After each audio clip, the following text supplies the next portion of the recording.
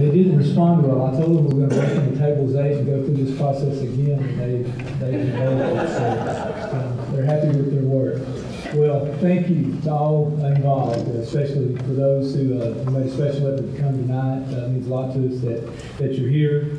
Uh, this committee, uh, board members, is a cross-section of our school district. It represents varying opinions from supporters and opponents of the 2013 bond. I'm very proud to say that uh, the focus was on our students, on the the facilities, being fiscally responsible, our community, and developing not only a plan, but also a long-range plan. This group listened attentively, they reviewed the long list of needs, they asked a lot of questions in order to gather the information needed to develop the bond proposal being presented tonight. Three words that I can think of that describe their work was collaborative, committed, and a sense of community. At the end of the meeting, when it was time to make the difficult decisions, I feel that this committee was well prepared to make those decisions. Just a brief look at the process, thinking back to February when uh, we, we asked our consultant PBK to begin the facilities conditions assessment. That process ran um, to the first of April. Our, our meetings started there April 8th, had one week skip, and from that point on, of April 22nd through the end of May, this committee met tirelessly uh, every week to do this work. So again, we're very thankful to each member for the commitment they made to, to attend and be a a great participant. I want to introduce the committee members that uh, graciously agreed to present to us tonight. And that's Bill Landry, Sue Turnage, Mark Wood, John Coe, and Kristen Wheeler. And at this time, I would like to invite Bill Landry to the podium to begin our committee presentation.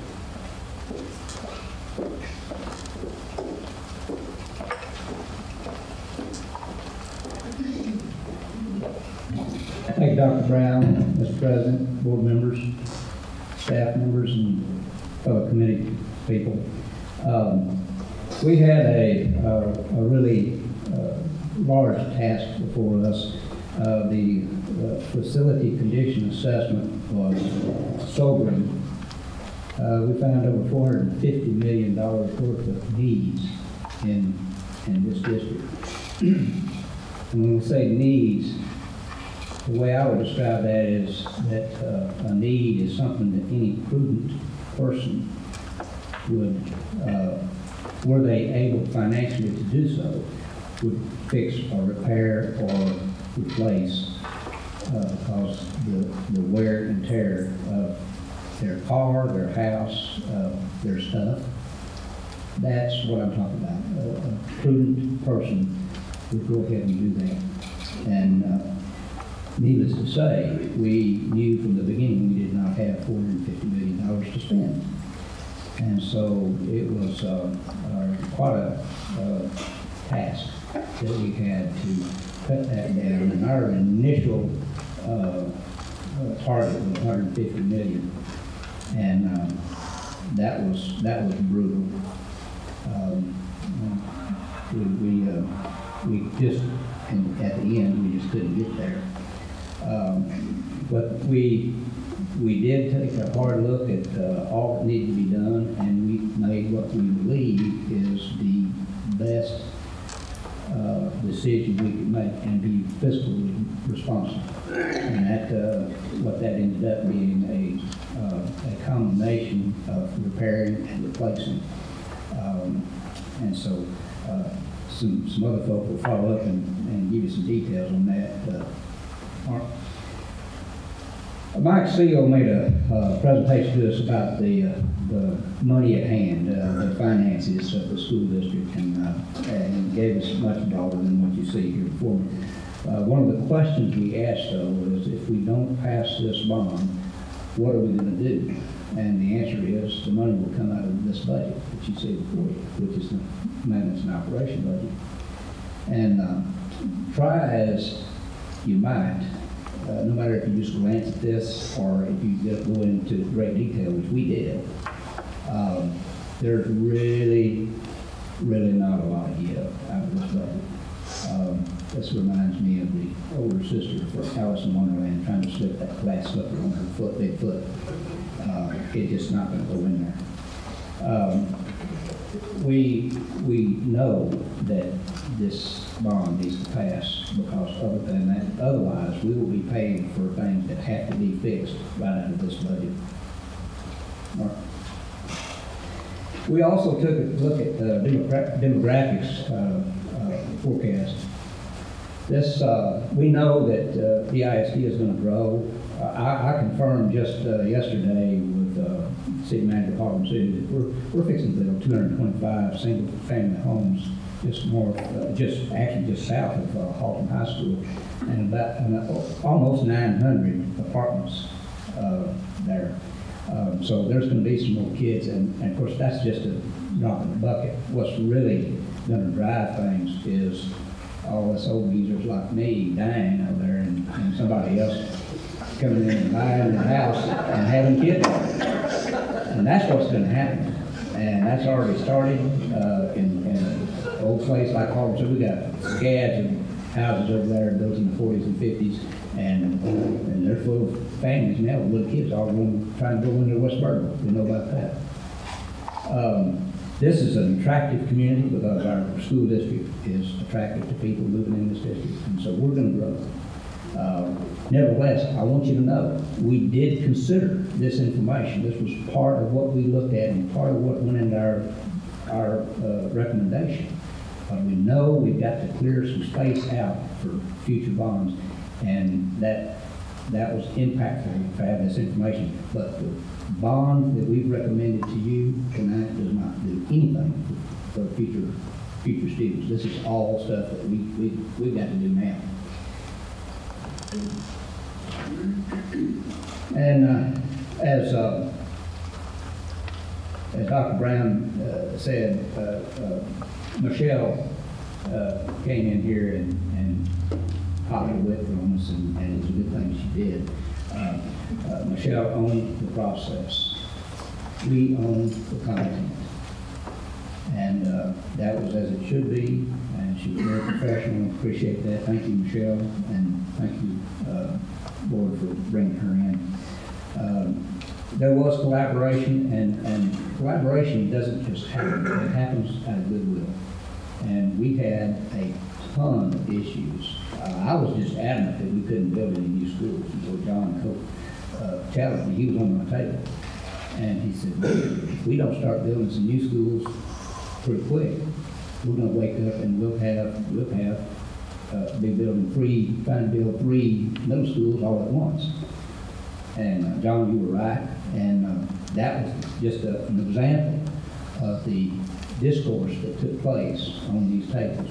We, we started off with, uh, everybody, everybody was on their own table, everybody made their own suggestions, just like they was God, and we, and we were, we were here, here's how, we- what, what I do, and then we, we worked through our tables, and then we joined tables, and once we got, uh, the format of uh, four tables all together and made our presentation of that, it became pretty clear that uh, something had come together uh, pretty clearly. We still had some, some work to do, but uh, Michelle saw that and, uh, and we, we worked from there. It was a wonderful experience. I enjoyed it. Thank you, Dr. Brown, for talking me into it. I was so bitter uh, after the last election. I decided that somebody else could have this, but uh, I'm glad I took, took part in it. I appreciate that.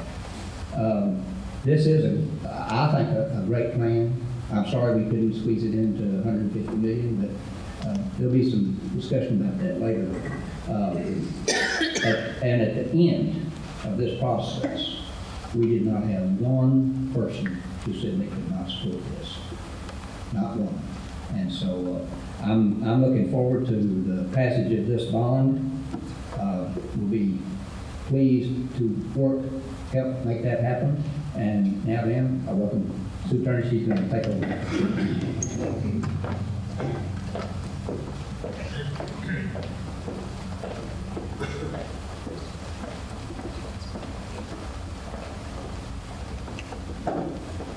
That's a hard act to follow. Good evening, uh, Mr. President, Board of Trustees, Dr. Brown. I'm glad Bill reminded us that that's the way we should introduce ourselves and say hello. Otherwise, I'd say, hey, guys. Um, One of the biggest challenges we all face is staying current with technology. Students today learn differently than we did, and the use of technology is no longer one of those extra nice things, but is essential to their success. Educational resources, including textbooks, are moving more and more online. Therefore, BISD must provide the necessary technology resources for our students and staff. I know the board has committed a substantial amount of financial resources to address some of the deficiencies in science education across the district. But even with these additional resources, our teachers and students still face significant challenges because of the facilities. If you haven't already done so, I encourage you to watch the science video shared with the committee. Uh, the link is in your handout.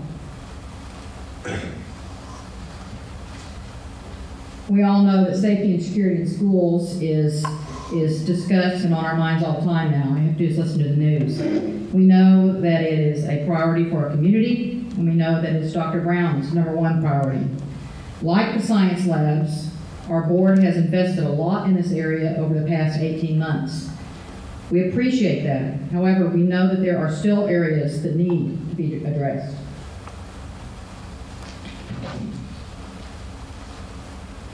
Looking more closely at our facilities, the committee considered additional ways to protect the assets we have. Unfortunately, our recommendation only touches the tip of that proverbial iceberg. However, Dr. Brown will share with you later a long-range planning model, what, what one, a long-range planning model might look like for BISD. The committee recommends that the board strongly consider adopting this or a similar long-range plan. Like Bill said, what we're recommending right now takes care of today. A long-range plan will address tomorrow. And as I conclude my part of this presentation, I want to say to the board um, personally that I believe that this committee was not only passionate about taking care of our kids, but addressed being financially prudent in the development of a proposal that's being presented tonight. We realize that our kids matter, our community matters. From, from a financial standpoint, this needs to be done. And now I introduce Mark Wood.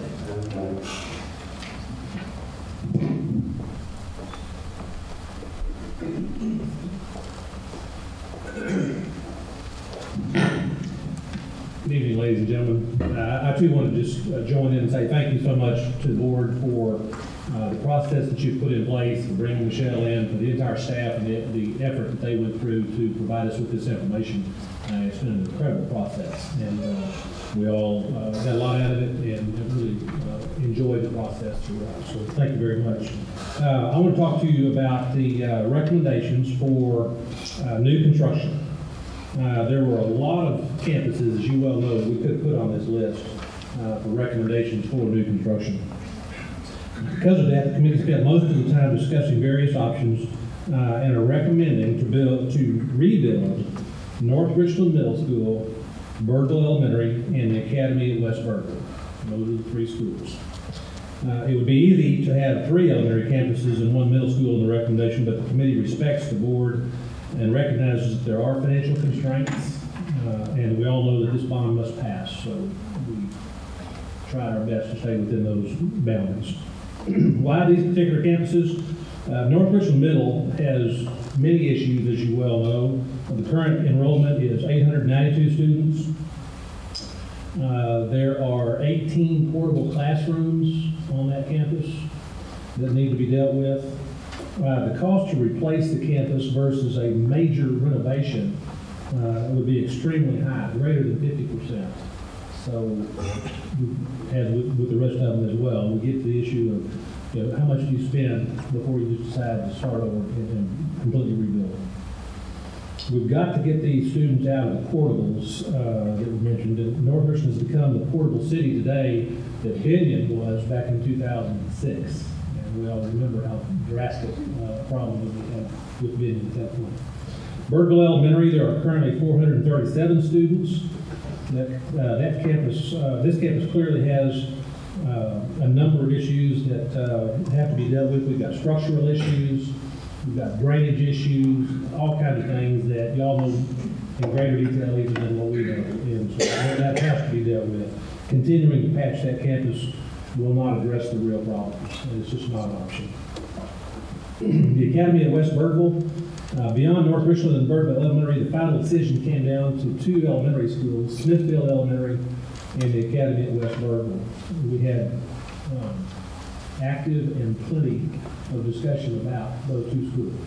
And it was a tough decision, uh, because they're both in, in such great need. Um, The current enrollment for West Birdville is seven hundred and fourteen students. Smithfield, uh, this past year's enrollment was four hundred and twenty-two.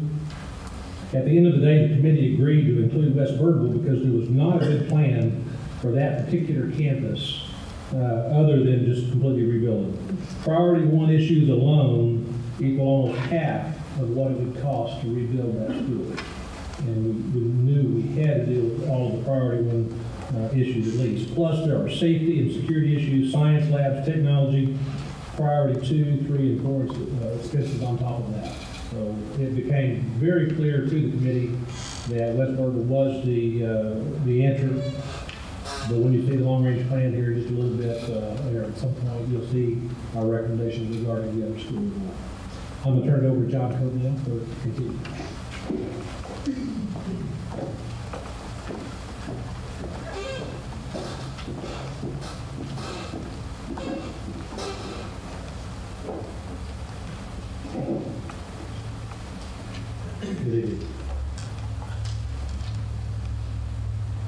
BISD must continue to look for ways to provide a safe and secure environment for our students and staff. Our proposal addresses some current needs that the committee considered essential for the protection of students, such as additional cameras, card access doors, and fencing uh, around our portable classrooms.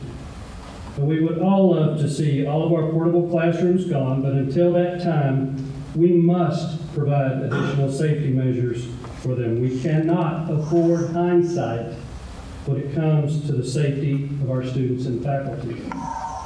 Also, in the proposal is a safety vestibule at Birdville High. Birdville is the only high school where visitors can walk right in the front door and proceed to any location on campus. This is a safety concern that must be addressed. And with the changes in science education and the necessity of safety in handling lab materials and equipment, BISD must address meeting the basic state safety and space standards. And today, that's not possible. Adequate lab space is needed at all of our secondary campuses. As Sue encouraged you earlier, watch the science video she referenced, and you'll agree this is a priority for our children.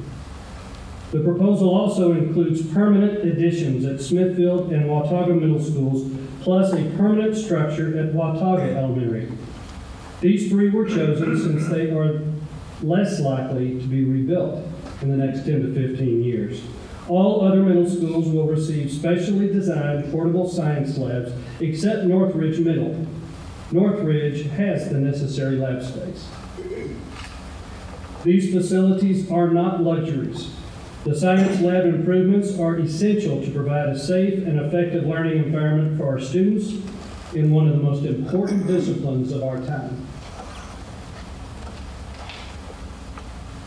Technology is here to stay, and all BISD students must have the ability to use and learn from current technology. Our students must be ready to compete in today's world. This proposal provides a robust wireless infrastructure across the district. With more and more mobile technology, having a wireless network to address supply and demand is not an option. This proposal also adds more technology in the classroom and on the campuses. Our students and staff must have access to technology that will run today's educational resources. BISD has been good stewards in getting seven to 10 years from the current technology, but the committee learned that much of the district's obsolete technology won't run today's applications. Kristen will share the final portion of the package.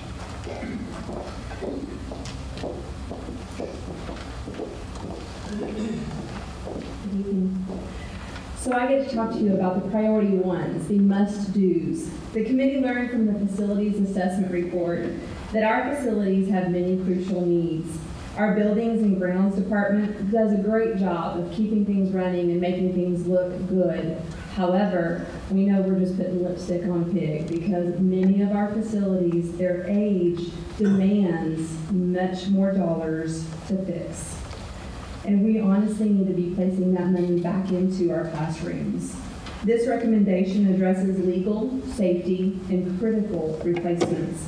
There is no fluff or any nice to haves within this recommendation. They are things like air conditioners, roofs, electrical, drainage, plumbing, and the parity issues we deal with between Birdville High School and Haltom and Richland High Schools.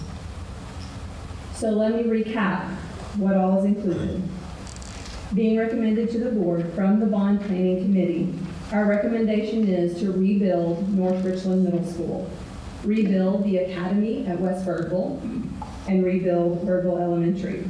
Provide for safety and secure science labs.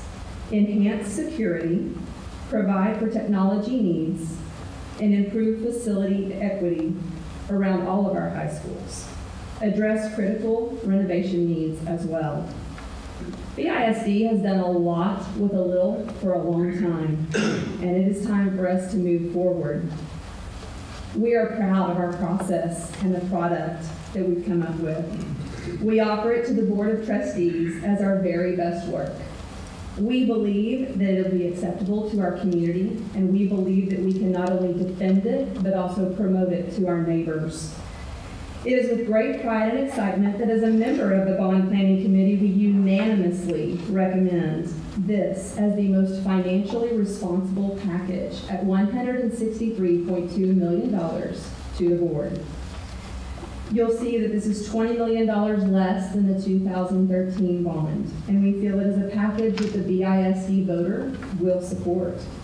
Furthermore, we feel that the bond is in the best interest of our students for BISD, its taxpayers, and its homeowners. The message you continue to hear tonight from this committee is that this is a financially prudent package. It gets, um, it gets us moving in the right direction, a direction we must continue to follow with great conviction because it is what is right for our students. The message from this committee is that doing nothing is no longer an option. Thank you. Dr. Brown.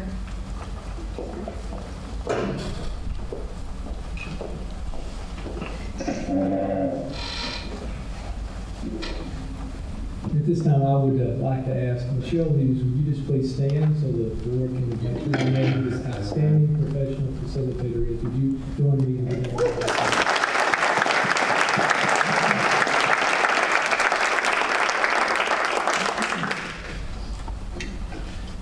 So what does this mean to our taxpayers?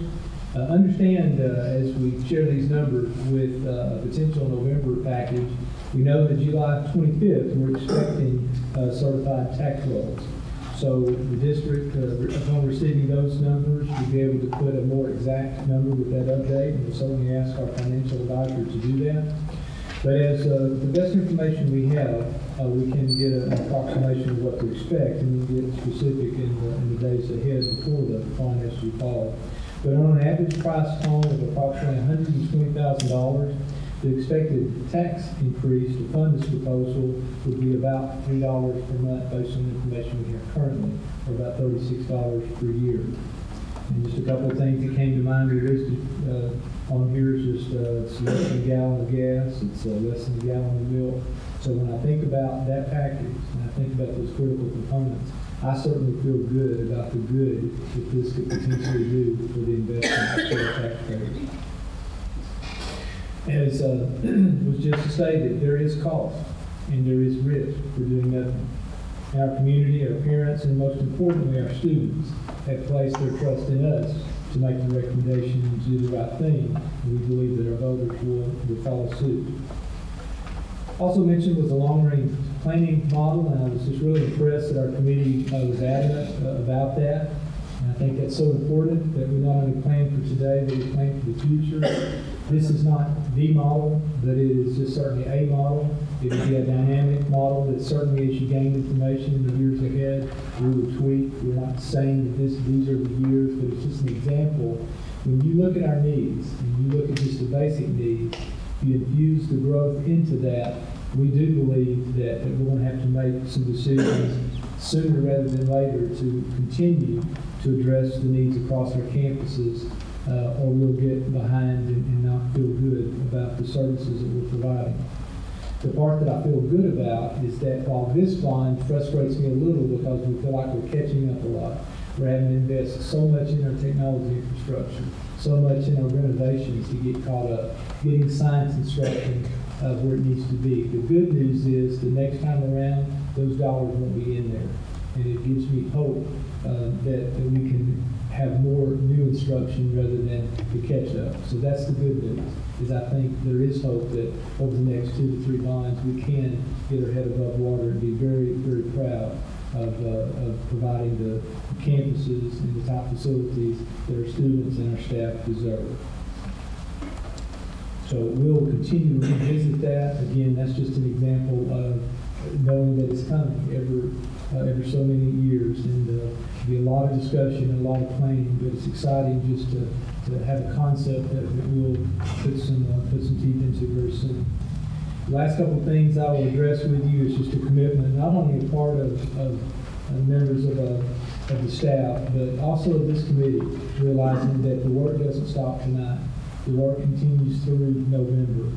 It's just a sampling of, of some ways we plan to engage our community during this process. We all understand our responsibilities and what we're allowed to do. But many individuals on this bond planning committee have already expressed an interest in forming a PAC, being committed to following this process through and doing whatever they need to do to communicate this package, the good it will do, and some of the challenges that will be associated with it not being successful. Uh, the last slide just, just talks about some of the mailers and, and things we're going to be doing. And there'll be a very specific plan between now and voting time, targeting our likely voters, targeting people that may not have connections to our districts, uh, a district and, and have a good understanding because sometimes it is difficult to truly understand all the complexities around education and, and needs and, and taxes and certainly there will be misinformation. So we're just committed to doing whatever is necessary to do the very best job that we can to clearly communicate to our people uh, what these needs are and just how this is going to make an incredible impact uh, on our district in the days to come. So I'd certainly like to thank all the members of the committee, but certainly those that, that agreed to speak tonight. And hear clearly their um, conviction in the work that was done, the process that was used, and opportunities to collaborate. Uh, it was a very enjoyable process. Uh, it really was. I, I'm just uh, very, very pleased with how people worked together and expressed their opinions, but were willing to to uh, concede to the consensus of the group, and uh, it just says a lot about this community that we already know is a wonderful place to, to live. So uh, thank you again for your commitment. Uh, I know put personal things aside on some evenings to be here to be a part of this important process. It, it means a lot to us, so to the children in our district. So thank you again. Mr. Hancock, I turn it back over to the board.